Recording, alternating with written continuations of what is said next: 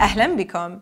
خلال استقباله لوفد صحفي عالمي أشار قداسة البابا فرانسيس إلى أن الصحفيين مدعوون إلى قطع مسافات في الدروب الرقمية لأجل البحث عن الحقيقة لافتا إلى أن الصحافة تتطلب القدرة على التوجه إلى حيثما لا يتوجه أحد مما تستدعي التحرك والرغبة في الرؤية والانفتاح.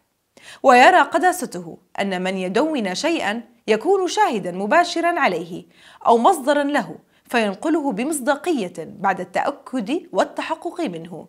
ناصحا الصحفيين بالإصغاء والتعمق في الفكر واحترام أخلاقيات المهنة وعدم التلاعب بالحقيقة. وختم البابا فرانسيس مشجعا الصحفيين على مواصلة الالتزام بنشر إعلام حقيقي وسليم.